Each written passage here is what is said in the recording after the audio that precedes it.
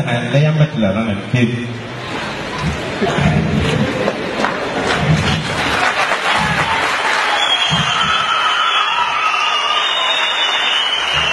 കുറെയൊക്കെ എന്തോ പറയണമെന്നൊക്കെ ഉണ്ടായിരുന്നു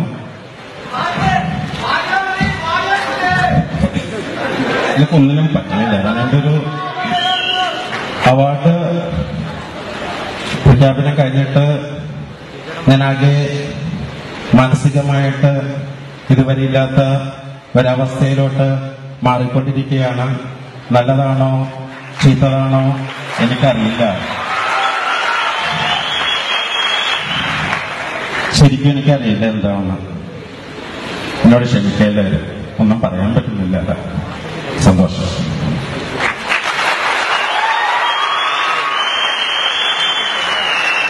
ചുരുങ്ങിയ വാക്കുകളിലൂടെ ഒരിക്കൽ